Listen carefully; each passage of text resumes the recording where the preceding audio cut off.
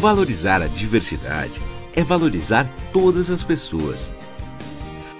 A falta de informação pode nos levar a julgamentos errados e atitudes preconceituosas. Hoje, vamos falar de convivência com pessoas com deficiência. Antes de tudo, a pessoa não é um deficiente, mas ela tem uma deficiência.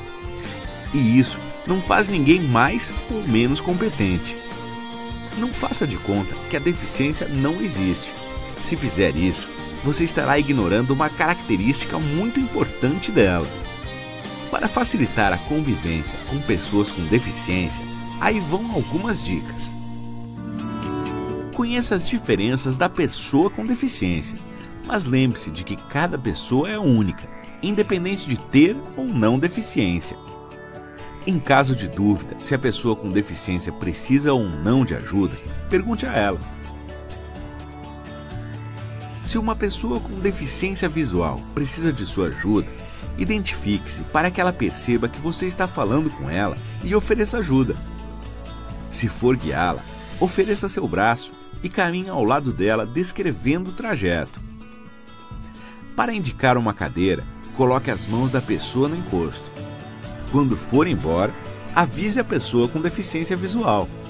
Lembre-se que é permitida a entrada e permanência de cães-guias em todos os estabelecimentos. Para se comunicar com pessoas com deficiência auditiva, fique de frente para elas. Fale pausadamente, sem exageros, para facilitar a leitura labial. Não desvie o olhar enquanto não finalizar a conversa, pois a pessoa com deficiência auditiva pode entender que a conversa acabou. Se não entender a fala de uma pessoa surda, peça que ela repita. Se for preciso, use gestos, mímicas, bilhetes, e-mails, SMS, WhatsApp. Use a língua de sinais se você souber.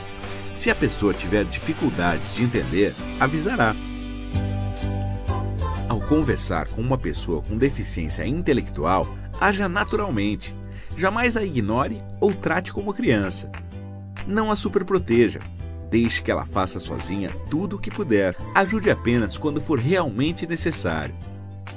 Para ensinar uma tarefa, siga os seguintes passos. Explique a tarefa. Diga o que o profissional terá que fazer. Apenas diga, não execute ainda para não distraí-lo.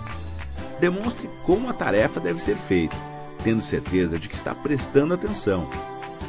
Agora, peça para que a pessoa repita a tarefa e fique atento à execução. Pode ser necessário repetir o processo algumas vezes até a assimilação da tarefa.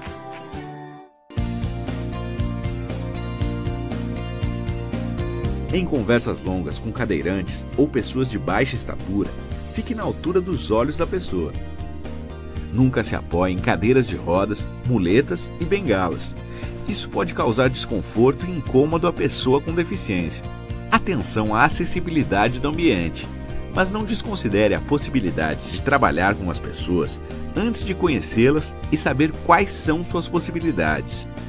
Essas são apenas algumas dicas para o relacionamento com pessoas com deficiência, mas é convivendo que podemos conhecer melhor as diferenças. A inclusão é a nossa cara.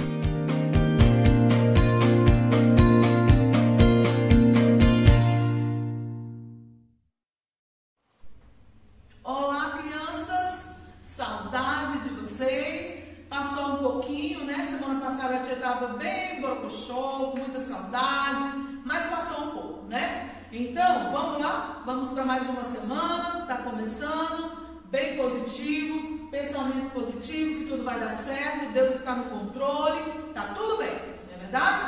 Então, vamos lá. Pegue o caderno, a nossa atividade dessa semana vai ser no caderninho de ética. Pega lá o caderno. A tia não vai colocar aqui no quadro, tá bom? A tia vai postar para vocês lá no nosso grupo do WhatsApp a atividade que é para vocês fazerem. Se você puder, se tiver condições de imprimir, beleza, pode imprimir, tá bom? Você vai copiar no seu caderninho aí de ética, tá bom? Tem o mesmo valor para ti, que eu quero que você faça a atividade. Lembra que na, na aula anterior nós falamos sobre os amigos que necessitam de cuidados especiais, não foi? Então a nossa atividade vai ser sobre isso. Nós, nós passamos aqui um período refletindo né, sobre isso, sobre ajudar o próximo que tem uma necessidade especial, sobre a atenção que devemos ter com as pessoas, o cuidado né, em falar com as pessoas, o cuidado em conduzir as pessoas que têm alguma necessidade especial. Então, nós falamos de tudo isso de uma maneira bem responsável, né? Que nós precisamos ter com essas pessoas. Precisamos ser responsáveis, ser carinhosos, ser cuidadosos.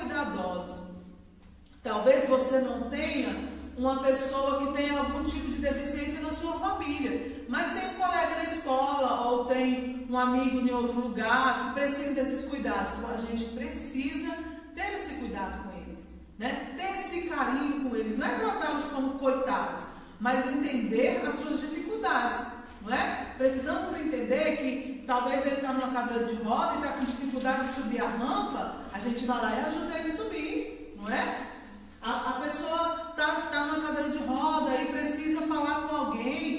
consegue apertar o botão do elevador, talvez você vá lá, ajuda a pessoa. Nós podemos fazer isso. São atitudes simples, mas que fazem diferença na vida de uma pessoa que precisa, não é verdade?